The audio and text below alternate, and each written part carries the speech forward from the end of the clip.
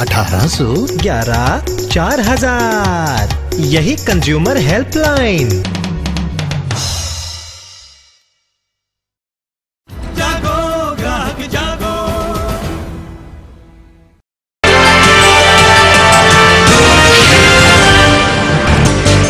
तेल और खाने पीने के कई सामान की पैकिंग में कंपनियों को पहले से भी ज़्यादा वचन की कानूनी तौर पर छूट मिल गई है।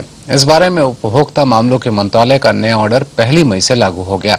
हालाँकि उपभोक्ता संगठनों का आरोप है कि ऑर्डर पूरी तरह से आम लोगों के खिलाफ है। 10 किलो के खाने के डिब्बा बंद तेल में 150 ग्राम तक वज़न कम निकले तो भी आप कंपनी के खिलाफ कार्रवाई नहीं कर सकते। क्योंकि सरकार ने standard of weight and measures package rules में फेर बदल कर एरर मार्जिन की सीमा बढ़ा दी है। नियमों में बदलाव के पीछे सरकार की दलील ये है कि मौसम की वजह से सामान लाने और ले जाने में कुछ हद तक वज़न में नुकसान होता ही है।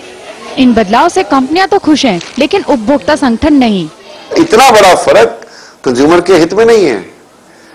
एक आदमी के लिए असर बेशक कम होगा परंतु सारे समाज पे तो ये कंज्यूमर्स को नेगेटिव असर पड़ा है और इससे फ़ायदा मैन्युफैक्चरर का है।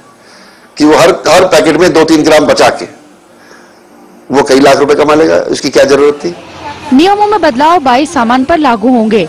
इनमें रोज़मर्रा के सामान में तेल, घी और वनस्पति के एक किलो पैक में 10 के बजाय 15 ग्राम तक वज़न कम हो सकता है। वहीं आटा, चावल और चीनी के 10 किलो के पैक में एरर मार्जिन दुगना कर दिया गया है, जबकि टूथपेस्ट, साबुन और शेविंग का 100 ग्राम का पैक साढ़े चार ग्राम तक हल्का हो सकता है। हालाँकि ग्राहक के लिए राहत की बात यह है कि वो मौके पर चाहे तो पैकेट तुलवा सकता है। इस तरह की सुविधा तभी मदद करेगी जब तय सीमा से ज़्यादा वज़न कम हो।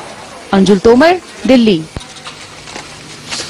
जर्मनी की cash and carry company Metro ने आज मुंबई का अपना पहला कैश एंड कैरी स्टोर खोल दिया है। इस दुकान के ज़रिए कंपनी छोटे दुकानदारों सब्ज़ी वालों